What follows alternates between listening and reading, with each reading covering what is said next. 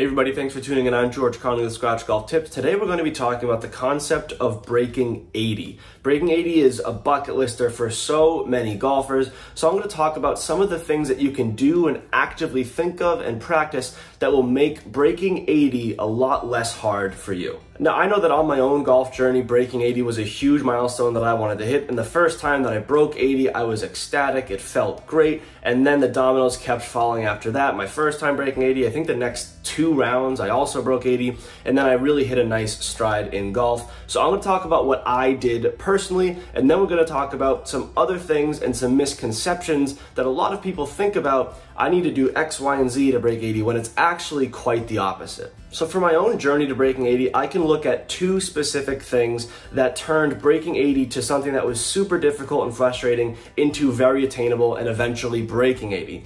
The first thing that I worked on a lot that was pivotal in helping me break 80 was finding a consistent shot shape. Now, when I say a consistent shot shape, I'm referring to my approach shots most specifically, where I was able to hit a very high controlled fade into most uh, into most greens that I was approaching. I was also able to hit a fairly consistent draw. This allowed me to really dial in my alignment and have options to work the ball into the greens both ways. Having that ability to work the ball in both ways is also so important for different uh, pin positions playing into different winds, playing from different parts of the fairway, getting around trees. It's such a pivotal part of the game to manage and, and move around a golf course to be able to move the ball both left and right and right to left and do so on command and in a controlled way. And those are the two keys, being able to do it on command and in a controlled way.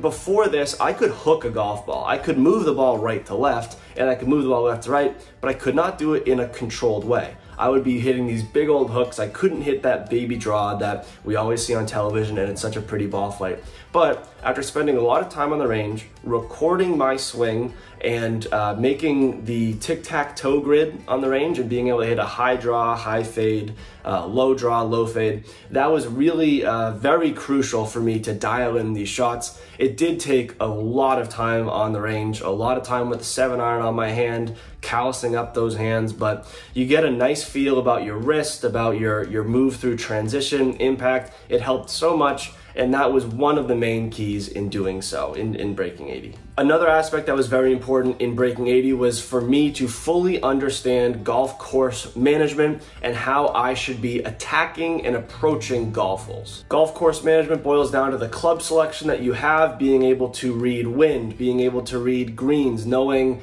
hey, this is a very narrow hole, maybe I shouldn't hit driver, let me go back and hit a three iron off the tee. That just comes with time. It can be taught, but just understanding your game and understanding what shots that you are most uh, confident in that you can execute under pressure. Having those abilities comes with just playing a decent amount of golf on a course.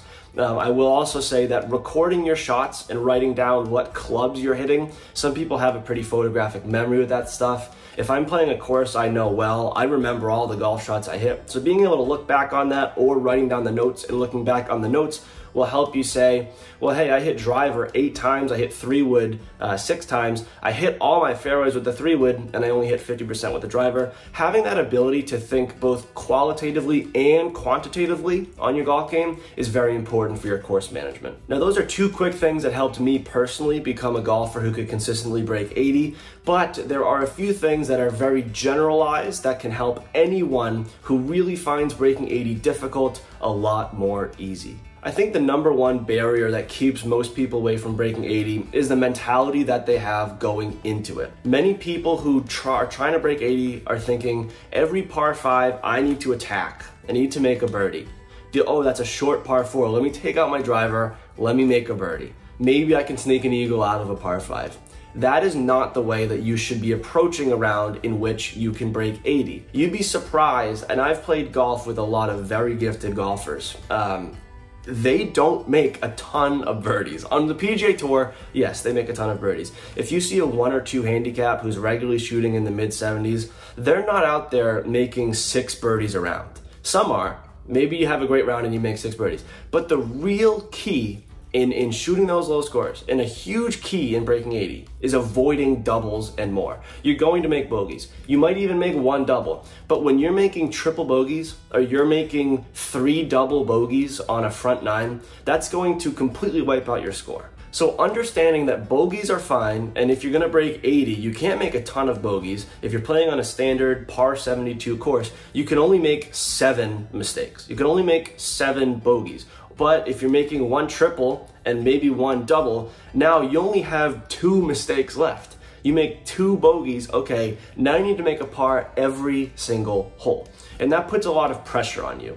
So being able to really eradicate anything above a bogey, or excuse me, a double bogey, keeping, you know, taking your medicine, if you hit a horrible tee shot, play for bogey. Don't play for the hero shot. Don't try and hit a 250 yard three wood slice into a hole take your medicine, take your bogey, move on to the next hole, and then the pars will start ringing off. So that's a huge key from the mental standpoint. And for anyone looking to practice a particular part of your game, so many people think, oh, if I need to break 80, I need to hit some nice long drives. I need to hit it 300 down the fairway, or I need to be hitting my irons to eight feet. I need to dial in those. Uh, no, the number one thing that you should be practicing is getting up and down around the greens. Because if you're playing 18 holes of golf, you're not going to hit every green in reg. You're going to put yourself in some tough situations around the green and stepping up to those thinking, well, I'll hit a chip to 30 feet, I'll two putt, maybe three putt, bogey or double. You, you can't be playing that way. You can't have that mentality when you're trying to do something as difficult as breaking 80. If you're in the fairway, uh, say 20 yards from the pin, you need to be making par there. Now, if you're in that position five times in a round, you, you're probably not going to go five for five, but you need to be dialing in around the greens. Your putting needs to be great. You need to be a good lag putter.